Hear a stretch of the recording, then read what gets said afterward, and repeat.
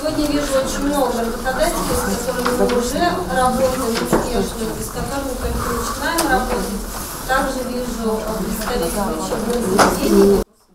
На круглом столе по вопросу об устройстве выпускников Щелковского колледжа собрались работодатели самых различных организаций. В рамках обсуждения были определены цели, задачи и пути дальнейшего взаимодействия системы среднего специального образования с представителями учреждений Московской области, заинтересованных в наборе новых кадров. Так, например, сотрудничество колледжа с гипермаркетом «Глобус» продолжается уже многие годы. Из года в год мы увеличиваем количество студентов, расширяем направление подготовки. Начинали мы с трех направлений, это мясник, повар, кондитер, сейчас там у нас и логисты работают.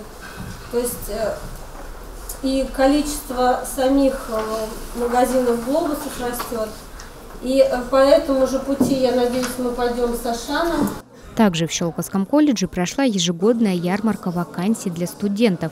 Участие в ней приняли более 35 крупных предприятий, которые готовы предоставить рабочие места начинающим специалистам. В рамках мероприятия молодые люди могли ознакомиться с предложенными вакансиями и заполнить анкету для поступления на стажировку или устройства на работу.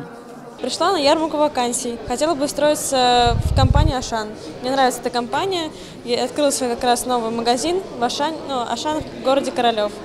Вот, я бы хотела пойти туда поваром. Я имею также и образование повара. Вот. Так что мне очень интересно было попасть на эту ярмарку вакансий. Студенты отмечают, что при выборе работы для них важную роль играют несколько факторов. Это близость работы к дому, заработная плата, а также график. Потенциальные работодатели, в свою очередь, ожидают от новых сотрудников практических навыков, дисциплины и желания расти в своей профессиональной деятельности. Мария Буржинская, Сергей Максимов, Щелковское телевидение.